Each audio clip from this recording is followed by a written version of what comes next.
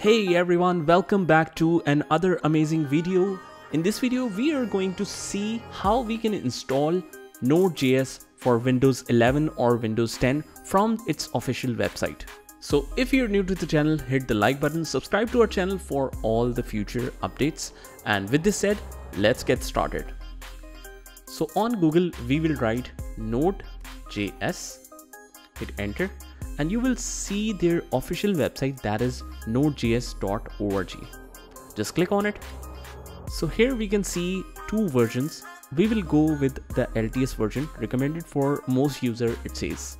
So just click on it and it will immediately ask for where you want to download it.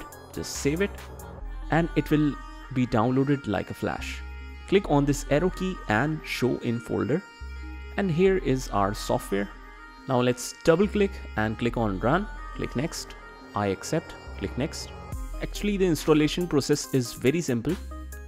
Just you have to click next and we will continue here with all the important features. So we'll keep it as it is. It will take approximately 15 9 MB on your hard drive. So that's fine. So click next and click again next and install. It will take some time to install, so just sit back and relax.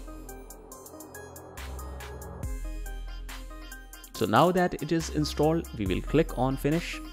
Now let's check if it is working or not. We will click on the Windows button and right here node, hit enter.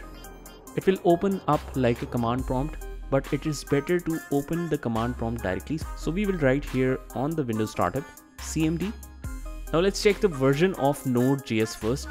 So write node dash dash version, hit enter. So version is version 16.17.0. So we basically have the latest version of node installed here. Now let's check the version of npm. Write npm space double dash and again write version, hit enter and it says 8.15. So congratulations, you have successfully installed Node.js on your laptop. If you like the video, hit the like button, subscribe to our channel and turn on the notification bell so that you can get notified of all the future videos. This is Saad signing off from today's video. Take care.